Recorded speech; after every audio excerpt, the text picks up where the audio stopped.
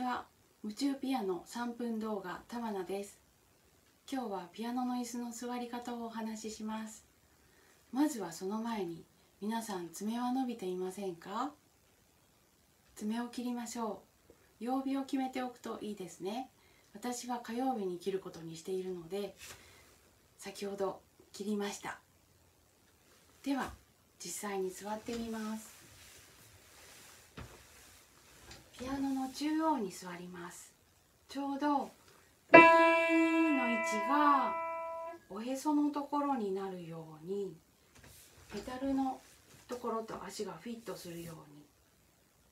そして今度は高さです。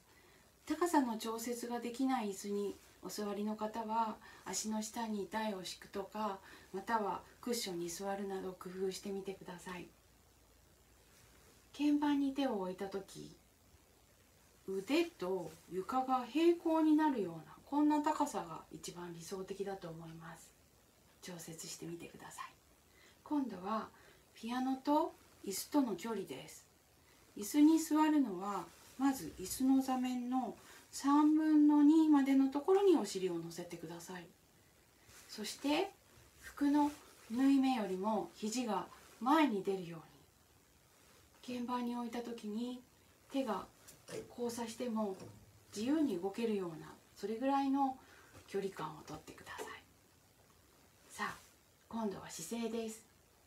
よくピアノは背中で弾くなんていうふうに言われますがまずは背骨をしまいます。背骨をお腹の中に入れてください。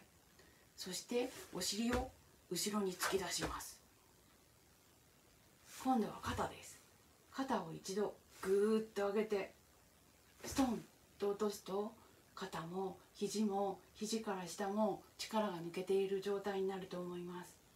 そのまんまピアノの鍵盤に指を乗せると今度は不思議指の先っぽだけがすごいマシーンのようにカシャンなります。さあそれじゃあ一曲弾いてみます。